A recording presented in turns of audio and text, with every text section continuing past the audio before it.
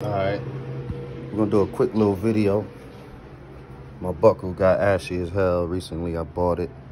Guess from me rubbing up on shit, probably washing dishes with my um, belt on. But I called Gucci. They said it's gonna take a while to get back. Gotta send them a couple dollars. I'm not sending them no more money for a $500 belt. First thing I did was went to Michael's Arts and Crafts, bought some of this shit. Paper under there, just cover the belt. And that's it. I mean, can't be riding around a nice car with an ashy belt. We don't do those.